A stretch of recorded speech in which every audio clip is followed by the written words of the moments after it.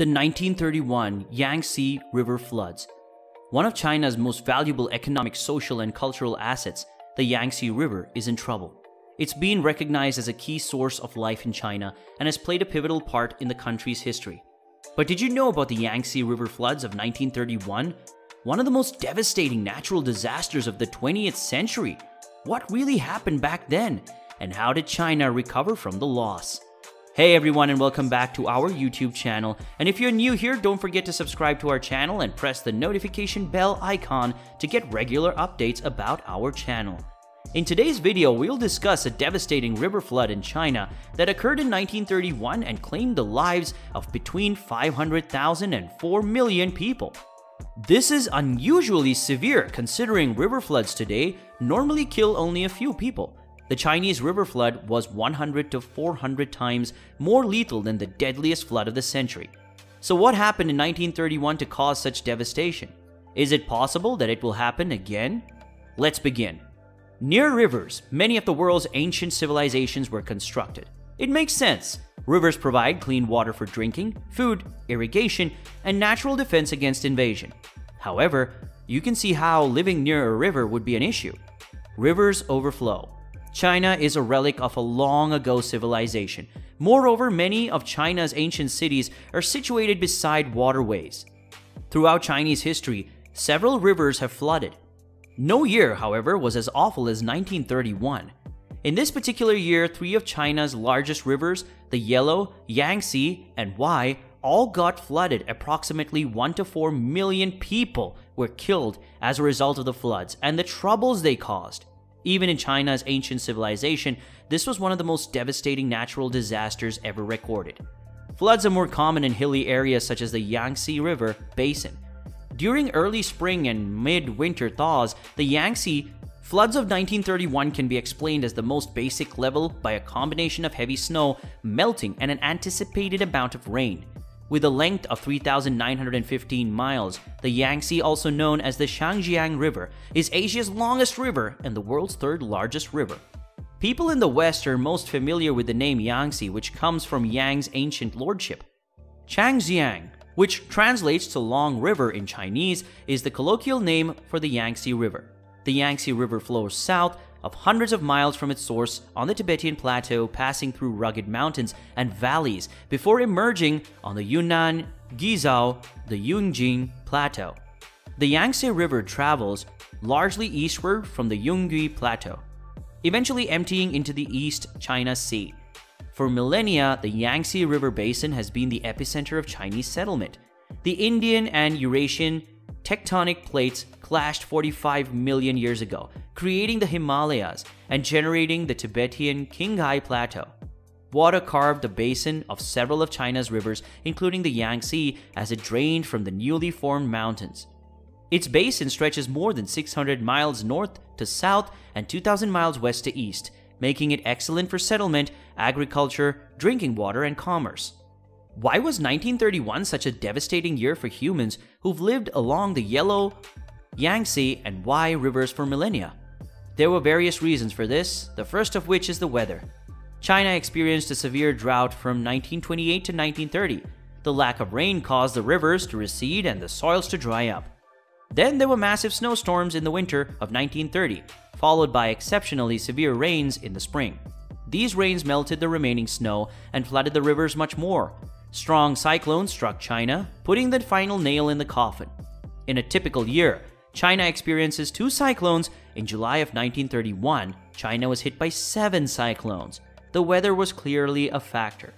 Those cyclones, however, were not the primary cause of the floods in 1931. China has developed more advanced farming technology in recent decades, resulting in significant growth in agriculture. Regrettably, China has also had rebellions, wars, and political unrest. The government programs in charge of monitoring and maintaining the river's health were unable to fulfill their responsibilities. As a result, property along the river has been overused. Dikes and dams supposed to control the river have been built wrongly, and the river's natural regulators, forests, and wetlands have been destroyed. As a result of the unusual weather in 1931, rivers overflowed their banks, dams burst, and water flooded throughout central China. The Yellow, Yangtze, and Huai rivers had all flooded so extensively by August 1931 that most of central China had been drowned. The immediate floods killed almost 100,000 individuals. But the surviving faced their own challenges. Crops were devastated, grain storage facilities were washed out, buildings were leveled, and roads were wrecked by the floods. Many rural population were left homeless and isolated, with no food and no way to receive relief. The Yangtze floods of 1931 swamped 180,000 square kilometers, an area roughly equal to a combined territory of New York, New Jersey, and Connecticut. The flood zone spanned Guangdong in the south, Manchuria in the north, and Sichuan in the west. The Yellow River and the Grand Canal, as well as eight of China's 23 provinces, were severely impacted. As much as a tenth of the Chinese population were relocated as a result of the floods. With their homes entirely submerged, the flooding was so severe that when fall arrived, the ground was still flooded, preventing farmers from planting crops for the following year. Airports as well as telegraphs and telephones were compelled to close, although not all railways were inundated. The large number of refugees who sought refuge along their tracks prevented relief from reaching Wuhan. To make matters worse, China's government had become so chaotic and weak as a result of recent battles that it was unable to gather the resources and personnel required to save the stranded towns. This is, in the end, why the death toll was so high. Millions of people died of starvation, disease ravaged weakened communities, and homeless refugees were stranded without a home. In certain situations, people were forced to turn to cannibalism, eating the dead in order to survive. Much of the devastation inflicted by the Yangtze River floods in 1931 could have been prevented if flood control procedures had been strictly adhered to. Because most of China's resources were being used to fund a civil war at the time of the floods, sediment buildup along the river's bank and the Yangtze was inevitably overlooked. The Chinese government established the National Storm Relief Commission in reaction to the flood. Flood relief donations came in from all over the world, with countries in Southeast Asia being particularly generous flood rescue activities became much more difficult after Japan invaded Manchuria in northeastern China in the autumn of 1931. China was eventually able to get a huge loan of wheat, flour from the US, which helped to alleviate food shortages. Because flood mitigation along the Yangtze was particularly difficult due to the Chinese civil conflict and the war with Japan, the government was only able to build modest dams and levees along the river. During the devastating floods of 1954 and 1998, they were unsuccessful. By the end of the 20th century, China had become more politically stable, and work on the Three Gorges Dam on the Yangtze near Yichang, Hubei province, had begun.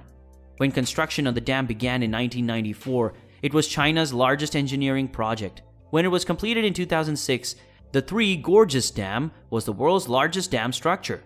The dam not only prevents massive flood damage, but it also generates a significant amount of hydroelectricity power with the help of 32 turbine generators. The dam can create up to 22,500 megawatts of energy when combined with two additional generators, making it the world's most productive dam. The Three Gorges Dam's water levels are currently approaching maximum capacity, casting doubt on the dam's long term implications. For the time being, however, the dam has shown to be efficient in preventing major flood damage to communities along the Yangtze River and towns such as Wuhan. The government hopes that time will allow the Yangtze to recover, replenish, and restore balance to its ecosystem while also increasing biodiversity. But time may not be on the side as climate change threatens to exacerbate many of the river's problems through extreme weather events such as droughts, storms, and floods. It is therefore critical that the Yangtze recovers pollution is reduced, and the waterway is protected for future generations. That's all for today, and if you found this video informative, then don't forget to hit the like button and share our video with others. Share your thoughts on the video in the comments section below. We'd love to hear it, and we will see you in the next